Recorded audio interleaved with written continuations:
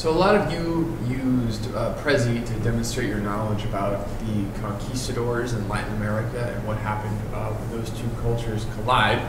But it seemed like a lot of you had some difficulty turning that work in. So in this brief tutorial, I'm going to show you how you can do that. So the first thing you need to do is open your the Conquistador turn-in box.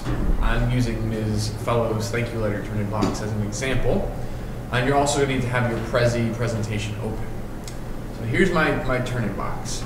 I'm going to go over to my Prezi presentation. If you remember, mine was about the Beatles.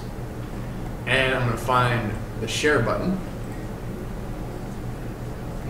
And then I need to copy this link that I, I, I see under copy link.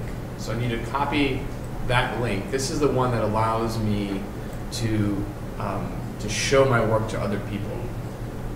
You don't want to copy this link up here because that is the link that takes you to the editable version of your Prezi, and other people can't see that.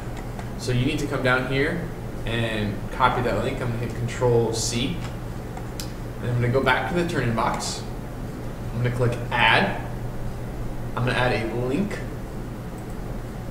I'm going to hit Command Control V, and my link will show up. I'm to click Add Link.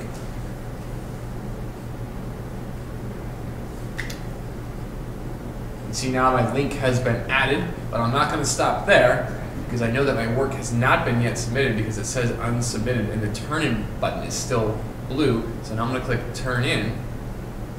Say, yep, turn it in. And now you can see that I, I have turned it in because it's marked done. In addition, it says unsubmit, so it tells me that I've submitted my work.